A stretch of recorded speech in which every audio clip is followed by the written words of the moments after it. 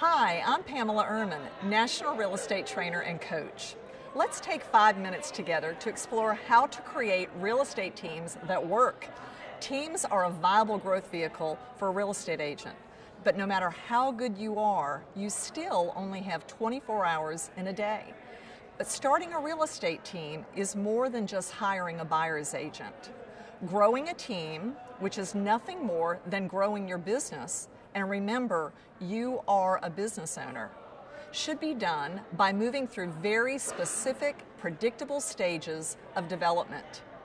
Years ago, I was introduced to a Harvard School of Business study that addressed the five stages of business growth. I immediately understood why so many agents had tried and failed at the real estate team concept. They were out of order. So let's go one stage at a time and put first things first.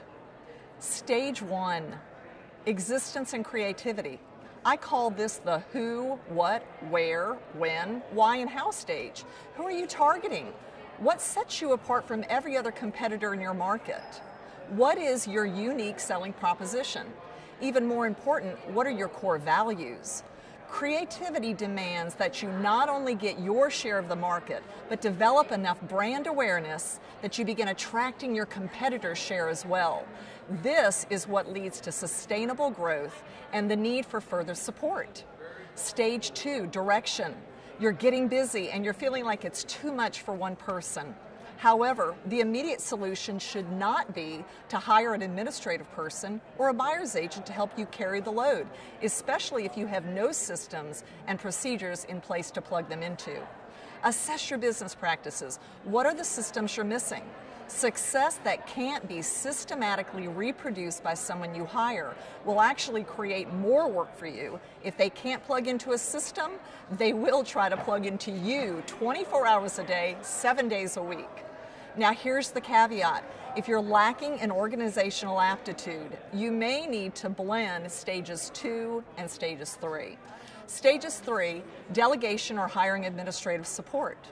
I'm sure there are many of you that would love to already have systems and procedures in place.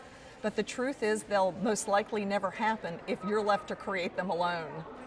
Hiring experienced, and let me reiterate that experienced administrative support can solve that issue. Virtual support or an assistant who shares um, your space are both legitimate options, and a combination may even be your best solution. Here's what you really accomplish at this stage. Now, think about this. You are your best associate. You don't need to be trained. You have the same work ethic, and your core values are exact.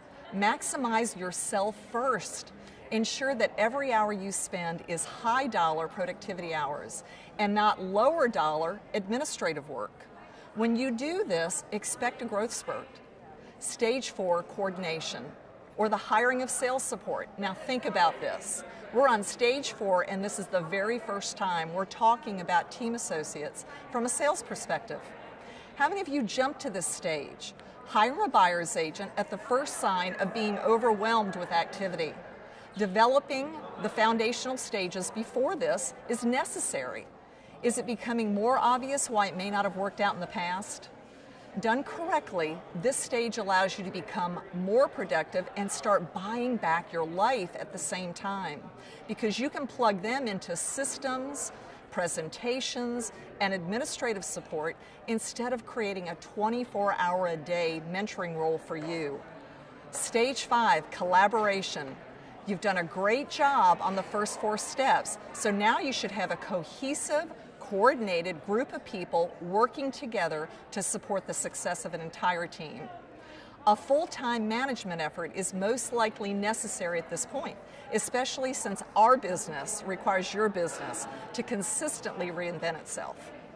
You must also keep a consistent stream of leads and business opportunities flowing into your team. You have a decision to make. Are you the best person to fill that role, or should you remain a viable member of your labor force, your sales team, and promote maybe another person who's better equipped to fill this position of leadership? Are you out of order? Then consider the five stages of business growth. When followed correctly, They should be the difference between a real estate team being the worst thing that ever happened to you or the best thing that's ever happened to your business.